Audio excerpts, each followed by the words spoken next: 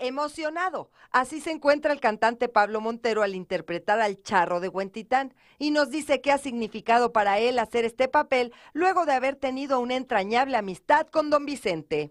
Fue muy bonito eh, la amistad que, que, se llevó durante muchos años y el amor que se tenían mi papá y él de muchos años. Entonces, que te den el personaje o que te, que te ofrezcan hacer la vida de, tu ídolo y aparte que lo conoces, yo creo que es una es doble emoción, ¿no? Entonces ha sido una bendición porque al principio sí me, entró el nervio, ¿no? De cómo lo, cómo lo iba a interpretar. Y es que su orgullo es doble porque no solo actúa. He grabado 40 canciones desde Tu Camino y el Mío, su primer éxito, hasta uno de sus últimos éxitos, que precisamente anoche lo grabé, el de Estos Celos.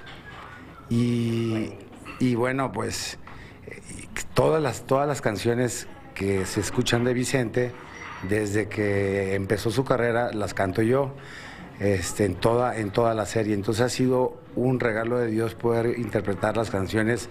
Ha sido un trabajo titánico porque tengo que acercarme al tono, se respetó la, el, arreglo original, los tonos y la interpretación. Entonces eh, tenemos que ir así con lupa para que saliera muy, muy parecida a su voz. Entonces ha sido increíble ¿no? el resultado.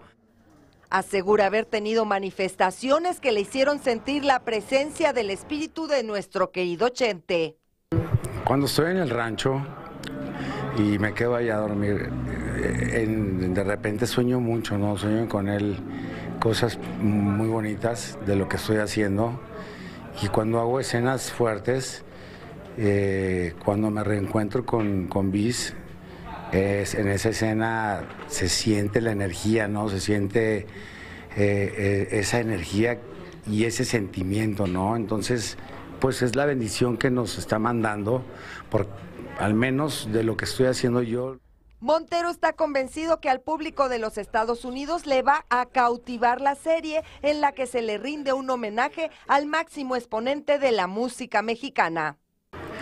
¿Qué tal amigos de Primer Impacto? Les habla Pablo Montero y los espero para este gran estreno este próximo 17 de mayo, 10-9 Centro, obviamente, por Univisión. En la Ciudad de México, Inés Moreno, Primer Impacto.